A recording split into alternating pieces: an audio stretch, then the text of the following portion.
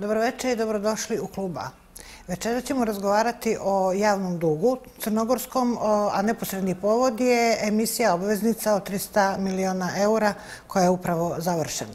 Večerašnji gost je profesor dr. E, Božo Mihajlović, redovni profesor fakulteta, ekonomskog fakulteta Univerziteta Crne Gore i brojne druge e, ovoga, e, reference, kao na primjer u karijeri je bio prodekan, dekan, direktor Fonda za razvoj Crne Gore, rukovodilac doktorskih studija, studija, rukovodilac magistarskih studija, marketing i biznis, član Senata Univerziteta, predsjednik Komisije za doktorske studije, kao i predsjednik upravnih e, odbora više preduzeća. Gospodin Mihajlović je objavio 15 knjiga, 35 naučnih radova u domaćim i e, stranim stručnim časopisima. Dobroveče, gospodine Mihajloviću. Dobroveče, hvala vam što ste me pozvali. Mi znači večeras da počnemo sa ovom emisijom euro obveznica koje su vrijedne 300 miliona i koje su e, prodate po kamatnoj stopi od 5,75 od 100. Kako vi komentarišete ovu emisiju obveznica? Da li je to vraćanje, e, reprogram duga ili je e, novo zaduženje? Pa, faktički je to reprogram duga, dug koji je dospio, treba da se plati i traži se rešenje.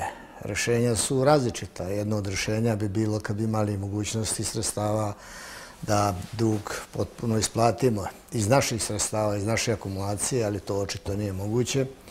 Drugo rešenje je da se kod istog, kod istog subjekta ponovo uzme kredit novi i treće rešenje je ovo, koje je relativno povojno sa stanovišta poređenja sa nekim kamatnim stopama koje su ranije bile po kojima se Crna Gora zaduživala i po kojima smo emitovali obveznice. E, međutim, ipak je to kada se jezik brojki uzme u obzir na odgovorići način, značajna suma. Pa jeste, to je na godišnjem nivou otprilike 17,5 miliona eura, 17,5 miliona eura, pošto je čovjek sa univerziteta, je znatno više ili za nekolika miliona više, preciznije, nego što država u Crnu Goru košta univerzitet Crne Gore za godinu dana.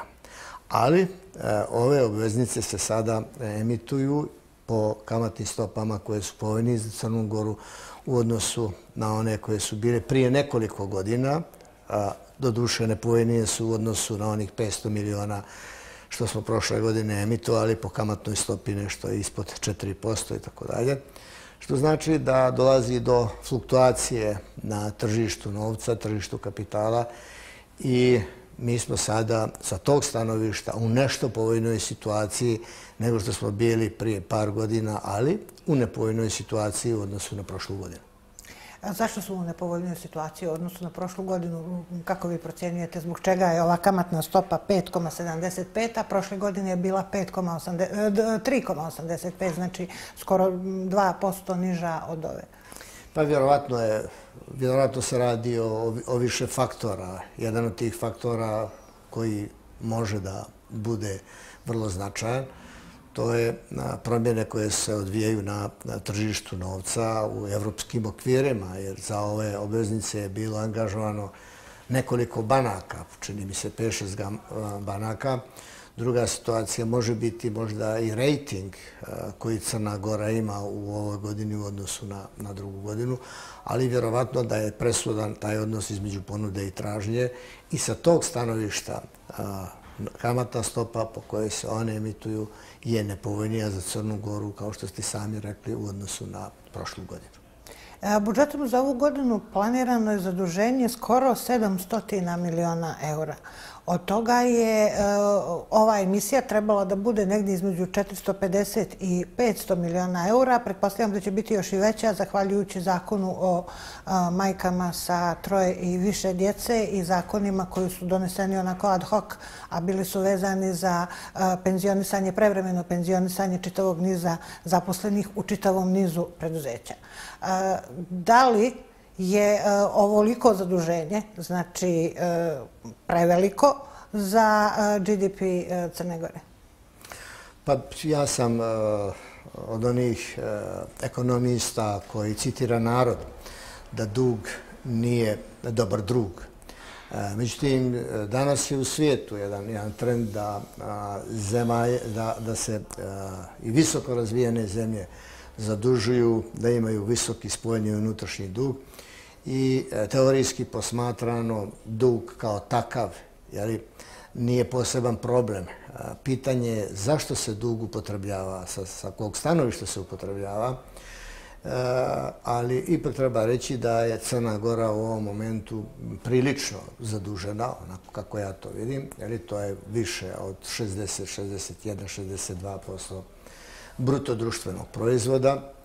Da napomenem da je bruto društveni proizvod u prošloj godini bio oko 3 milijardi 660 miliona, nisu obračuni još gotovi. Da u okviru tog e, društvenog proizvoda imamo različite kategorizacije ili dugovanja. Prvo, ajde da krenemo od lokalnih samupravna koje su duže oko 140 miliona eura, zatim unutrašnji dug je 280 miliona, državni dug je otprilike 2 milijarde i nešto i ukupan je dug otprilike oko 2-400 miliona, 2-400. Govorim samo o redu veličina. I sada, ovo zaduženje koje je na tom nivou, kao što ste vi rekli, otprilike 690 i nešto miliona, je sastavljeno iz različitih elemenata. Bitno je ući u strukturu, je li tu je autoput, otprilike 250 miliona, oko 300 i nešto, ili skoro 400 miliona eura je e, vraćanje ranije dospjelih obaveza, odnosno ranijih dugova koje smo stvorili jeli, u ovom periodu. Mislim da je važno da, da kažem zbog naših građana da i se državni dug Crne Gore znatno povećao u odnosu na 2007. godinu. Ako me dobro sjećanje služi, taj red veličine je bio 730 miliona eura, a sada su ove cifre koje sam ja naveo, to su cifre prema najnovim, prema najnovim podacima. Dakle, e, da ne bih bio nedorečen, pitanje je zašto se dug upotrebljava stanovišta kojih namjena. Ako drug ima, ako dug ima razvojnu komponentu i ako kao takav doprinosi da se poveća bruto društveni proizvod, onda na takav dug sam po sebi je, rekao bih, neminovnost. Veoma je velika opasnost kada se dug e, koristi za potrošnju, za tekuću potrošnju. A mi smo sada u Crnoj Gori na nivou tekuće potrošnje reda veličina preko 50% bruto društvenog proizvoda. I još nešto da kažem u kategoriji bruto društvenog proizvoda, dakle, jedno svoje lično ovako viđenje kao, kao ekonomiste i profesor universiteta.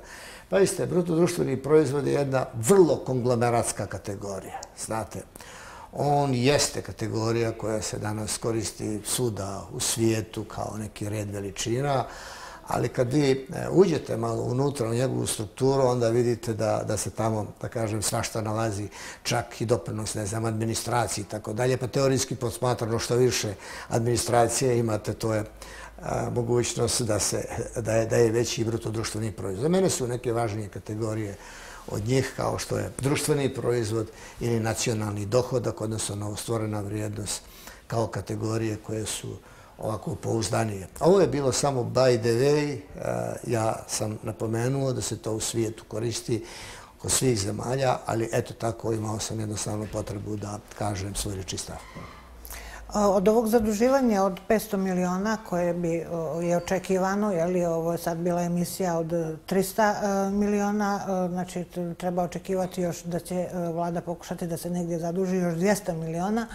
Dobar dio toga ide u reprogram duga, u stvari najveći dio toga ide u reprogram duga jer tekući, tekući budžet u principu je ovoga pokriven prihodima iz, iz domaćih izvora.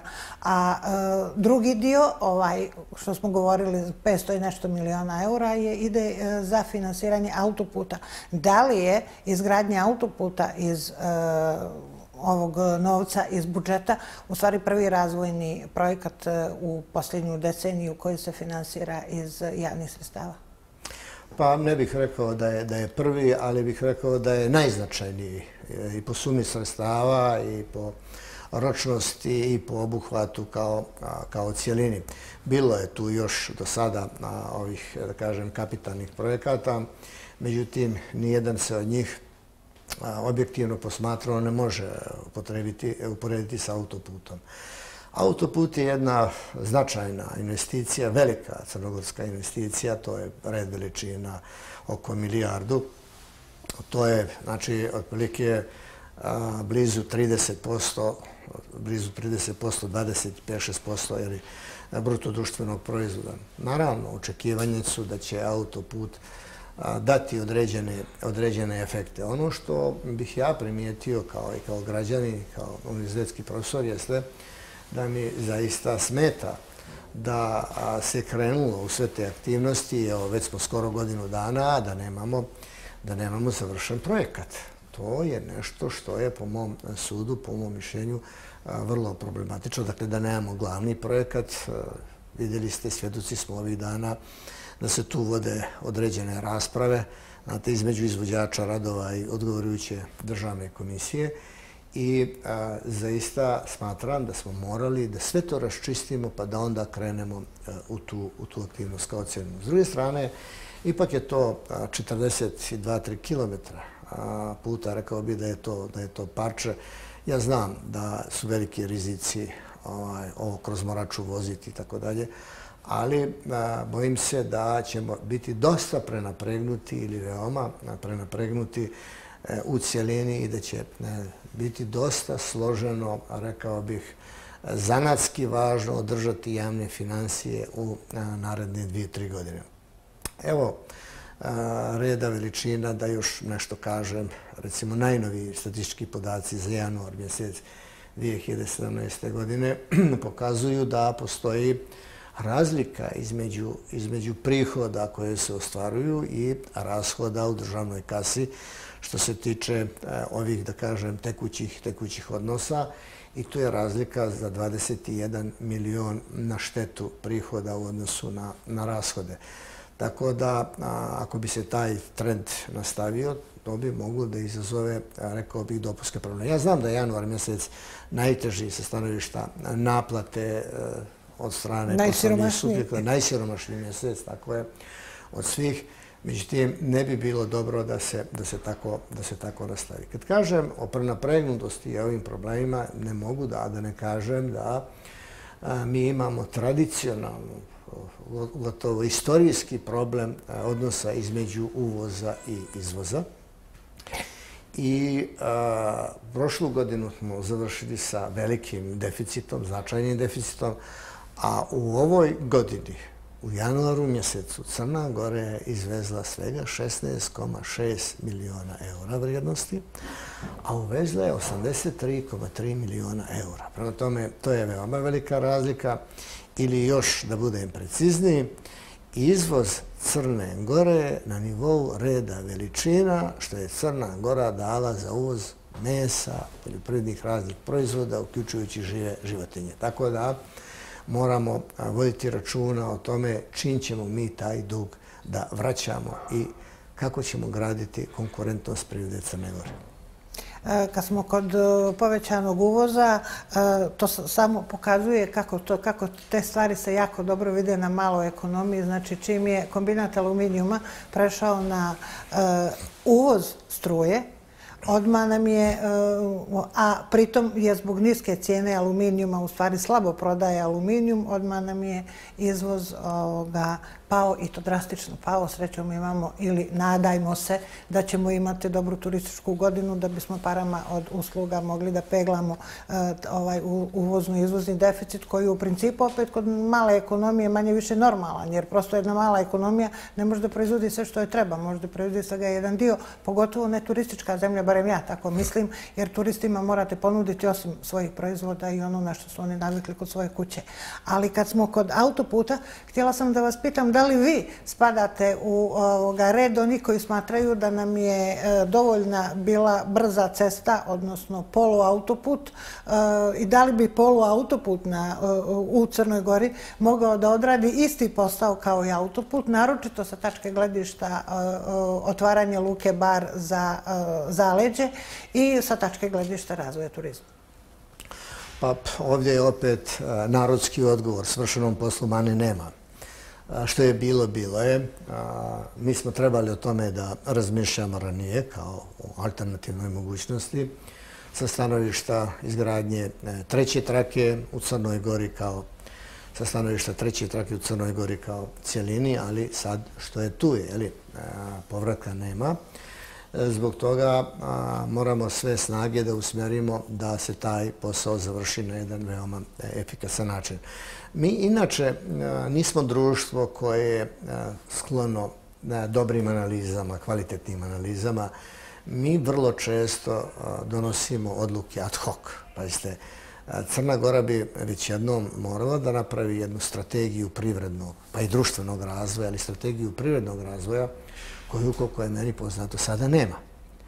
I u okviru te strategije privrednog razvoja mi bi morali da vidimo šta nam valja činiti u narednom periodu, šta se to dešava oko nas, šta se dešava u Evropi, jer idemo prema Evropi, šta se dešava u okruženju i koji su to naši ciljevi, koja je naša strategija, šta mi sve treba da uradimo da bi e, mnogo bolje živjelo naših 660.000 stanovnika. Kad ste pomenuli turizam, da kažem i to da je e, turizam veoma osjetljiva privredna grana. Dakle, najosjetljiva, najosjetljivija od svih privrednih grana je turizam. Zašto? Dovoljni su bilo kakve poremećaje, politički ili neki poremećaj negdje u regionu, bilo kakve prirode, pa da se, da se to snažno odrazi na turizam. Mi smo prošle godine imali vrlo uspješnu turističku godinu. a, I e, a, pretpošle godine nismo imali takvu godinu. Podaci u januaru mjesecu ohrabruju, koliko mi se čini da je broj turista inoće otprike za 3% veći u odnosu na uporedni period a, prošle godine. Ali turizam sam za sebe e, ne može da bude nosilac prirodnog razvoja. Njemu ruku pod ruku mora da ide poljoprivreda prije svega, koja će biti spoj u našim uslovima posebno crnogorskim, jer e, mi nemamo mogućnost da proizvedemo da kažem, neku znatnu količinu poljoprivrednih proizvoda za izvoz. Ali imamo mogućnosti da specifične naše, da kažem, autohtone i sorte i e, druge druge kulture koje su važne, koje su u funkciji turizma. Sada, otprilike, u Crnoj Gori turizam i trgovina čine e, oko 40 do 45% bruto društvenog proizvoda. Znate, turizam je vukao trgovinu u prošloj godini i tu je znatna stopa privrednog rasta bila, odnosno znatan obim prometa u trgovini kroz povećan broj stanovništva i tako dalje. Ali mora Crna Gora da se okrene i materijalnoj proizvodnji. Znate, bez proizvodnje, Marks je davno rekao, misleći upravo na Marksu, na materijalnu proizvodnju, zaboravljeni Marks, ili do duše, neki su ekonomisti na osnovu razvoja njegove teorije dobili Nobelu nagradu i tako dalje, ali rekao je, bez proizvodnje nema potrošnje. Mislim da smo mi to dosta zaboravili i da mi moramo da se vratimo tim takvim relacijama koje će biti Eh, vodilja privrednog razvoja Crne Gore u narednoj deceniji pa sljedećih 20 godina. Sad ćemo pogledati blok reklamu. Eh, poštovani gledalci, ponovo smo u studiju eh, televizije Atlas. Naš večerašnji gost je profesor dr. Božo Mihajlović. Govorimo o javnom dugu. Profesore Mihajloviću, da li je po vašem mišljenju, s obzirom na ovaj stepen zaduženosti, sada neophodno da se naplati svaki cent poreza? Odnosno, šta procjenjujete koliki je kod nas procenat sive ekonomije i koliko bi se moglo dobiti e, još novca od tekuće potrošnje, odnosno od eh, iz regularnih okvira e, domaćih, da se ne bismo ovoliko zaduživali? Pa u svakom slučaju mislim da se na tome treba veoma ozbiljno raditi, rekao bih, sistemski organizovano u svim segmentima e, društva. E, siva ekonomija suda postoji u svijetu, ali je samo pitanje njene vrijednosti, njenog iznosa. E, tu su cifre različite. Niko je nije procijenio. To su sve ovako, da kažem, osjećajne, aproksimativne veličine. One se kreću, rekao bih, već godinama između 25, 30, pa po nekima i 35 e, posto iznosa. To je znatna, znatna suma, znatna stavka, ali e, mi imamo i, i neplaćene poreze e, koji su izuzetno visoki za ostali. To je preko 500, po nekima 600 miliona eura. Znate, to je, kad se stavi u odnos na brutodruštveni proizvod ili šestinu brutodruštvenog proizvoda crnogorskog, što je veoma velika, što je veoma velika suma. Ako se tome doda nelikvidnost prirodnih subjekata, znate, Crnogora ima oko 72.000 subjekata, od tih je 15-16.000 nelikvidno, u blokadi i tako dalje. Znači, to je, e, da kažem, jedan, jedan, jedan resurs e, značajan. Što se tiče sive ekonomije, mislim da društvo mora organizovano da se bori protiv nje. Malo prije smo govorili o real ekonomiji i što se tiče realne ekonomije u Crnoj Gori ostao nam je još rudnik uglja. E, rudnik buksita i kombinat aluminijuma. Željezara je skoro na izdisaju. Ovaj investitor nije pokazao e, ništa, u stvari nije uradio ništa od onoga što je obećao. E, što se tiče real ekonomije, vladin plan je u stvari da se maksimalno iskoriste mogućnosti, energetske mogućnosti koje ima Crna Gora. Sad da se ne upuštamo u hidropotencijale, samo da vas pitam da li je izgradnja drugog bloka termoelektrane koja je prilično sporavana u u civilnom sektoru, da li, ta, da li izgradnje drugog bloka termoelektrane predstavlja opasnost po stabilnost crnogorskih javnih financija? Pa sve zavisi od toga kako se konstrukcija finansiranja e, organizuje. Ako država u sve to ulazi, onda bi to sigurno bila dopuska ili opasnost, jer projekcije su i bez termoelektrane da će e, učešće duga u cijelini ili javnog duga u naredne dvije, tri godine biti značajno, pa će da će doseći 70 po nekima i preko 70% bruto društvenog proizvoda. Naravno, sve zavisi, to su parametre koji su e, fluktuirajući. Što se tiče termoelektrane, ja mislim da smo mi davno trebali da, da krenemo u ovu aktivnost. E, postojeća, e, postojeća, postojeći blok termoelektrane je već, već dugo, dugo u, u funkciji i on je nekoliko puta revitalizovan, ali e, ponovo i tu recimo ima jedan problem. Ja sam bio dugo godina presjednik upravnog odbora Rudnika Uvija, član odbora direktora i pričao dobro poznajem, rekao bih tu situaciju. Mi nemamo precizne podatke o nalazištima uglja, znate o njegovim, njihovim kategorijama. Ja sam bio veoma iznenađen kad sam slušao ekspert iz te oblasti kako su saopštavali međusobno vrlo različite, vrlo različite podatke. Ali u svakom slučaju Crna Gora mora da se okrene povećanju proizvodnje električne energije u budućnosti. Da li će to biti termoelektrana ili će to biti u kombinaciji sa nekim hidroelektranama, to je da kažem e, posebno pitnije. Mislim, mi suviše dugo pričamo o tome Sjećate se vjerovatno da smo prije jedno 15 godina govorili o hidroelektranama na Morači, pa nijedna nije krenula i tako dalje. Pa četiri, pa tri, pa ne znam, alterne do Podgorice, sve. Ništa se od toga nije e, uradilo. Znači, moramo mi već jednom da krenemo e, u neke aktivnosti. Što se tiče e, drugog bloka termoelektrane, ja mislim da bi bilo optimalno rješenje kada bi motivisali stranog investitora da on uđe u to, a Crna Gora kao država, nisam siguran da u sklopu ovih bilansa koje ima kao cijelinu može da, može da sada ovaj, da, da izađe u susret jednim takvim zahtjevima. A ukoliko bi investitor bila elektroprivreda, kako zahtjeva vlada, a tome se uh, suprostavljaju predstavnici italijanske kompanije, odnosno suvlasnici u elektroprivredi, Da li bi to u tom slučaju uticalo na povećanje javnog duga? Pa opet je pitanje, jer ako se elektroprivreda zadužuje, vjerojatno bi se tražile neke garancije i tako dalje. Ja sam od onih ljudi koji e, veoma poštuje analize i koji e, voli da se cifre stave na sto, pa da se zavisno od njih donose odluke. Nijesam od onih koji a priori smatruju da je odluka neka dobra ili loša. Gospodine Mihajloviću, hvala vam što ste bili gost e, kluba A. Poštovani gledalci, ostanite uz program Televizije Atlas.